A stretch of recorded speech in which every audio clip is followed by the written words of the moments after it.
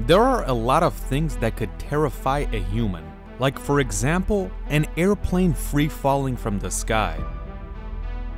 Or you're driving a car downhill and your brakes stop working. These are all terrifying, but more terrifying than these two is being inside a submarine that's free falling to the bottom of the ocean. The people that are in the submarine that's free falling to the bottom of the ocean pretty much know that they are screwed because the lower they go, the higher the water pressure gets, and that means more pressure on the submarine itself, and the chance of implosion gets higher and higher.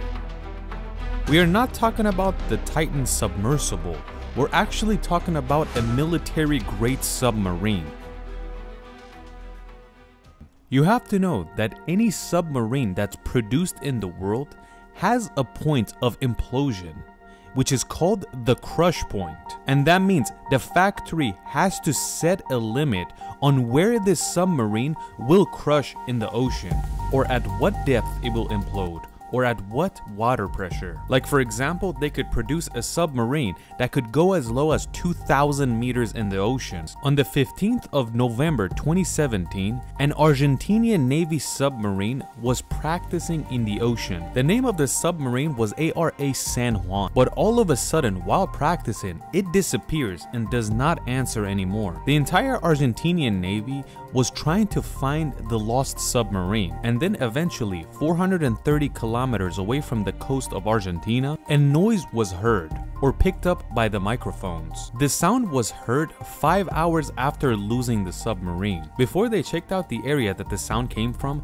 they already presumed that it was an implosion. The sound that they picked up from ARA San Juan could show them what depth it happened in. You might think it was extremely deep, but it wasn't. It was around 388 meters. And that's interesting because that's one tenth of the way down to the Titanic wreckage. Based on the sound, the experts could presume what type of explosion this implosion created based on TNT. And the number they came up with was 5,670 kilos of TNT. The water pressure in that depth was about 570 psi, and the pressure of the water crushed this submarine at the speed of 2400 kilometers an hour. Crushing a submarine at this speed is terrifying. There were 44 people in ARA San Juan, so they must have felt a lot of pain inside there. Do you think they suffered inside the submarine? No, they didn't even see it, let alone feel it. Whenever you get hit, it takes one tenth of a second to two seconds to actually feel the pain. The pain has to be created. The feeling has to go to your brain to process the pain, and then it sends the signal back to the spot for you to feel the pain. And that's eventually when you actually start feeling it. For all this to happen, it takes time. Like when you stub your little toe on a table, since it's far away from your brain, it actually takes longer for you to feel the pain down there than somewhere close. The fastest pain you can feel is from burning yourself because you can feel burning sensation anywhere in your body in under two tenths of a second. Oh, goddamn. But the pain the 44 people that were in ARA San Juan felt needed to happen in 1 25th of a second. So the person inside the submarine needed to see this pain and then go to the brain, process the pain, and send it back for you to feel it.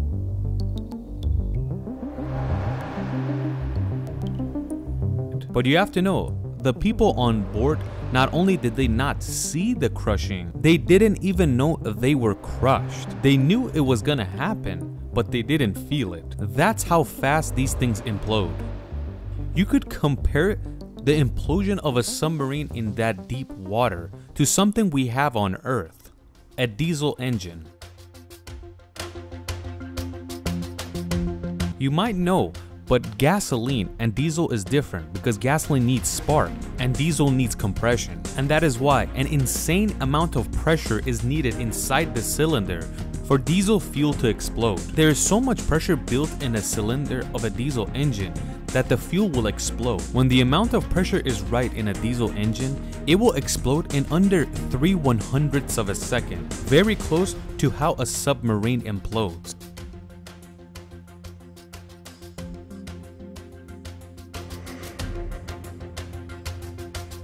There are a lot of diesel powered submarines, and if they're nuclear powered, there are diesel generators inside and gasoline.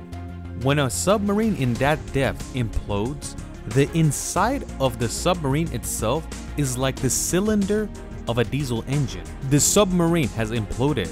The pressure inside the cabin is so high and there are fossil fuels inside there like diesel and diesel engine and that is why all that explodes after the implosion. So first the submarine gets crushed and then explodes so it's like a double kill. And all this happens in under 40 milliseconds. And that is why not a single body was found in ARA San Juan because they were crushed and then exploded, so there was nothing to recover.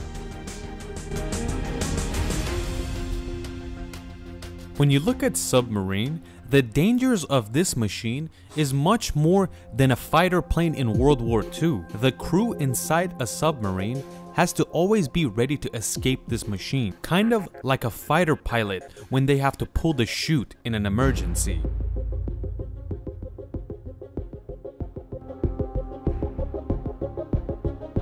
But escaping for these guys is much more difficult and complicated. First of all, they can only do this at a depth of 180 meters, no deeper, because if they do, they will be crushed by the water alone. And at this depth, they have to have special suits so they don't get crushed by the water pressure there. And that's complicated itself.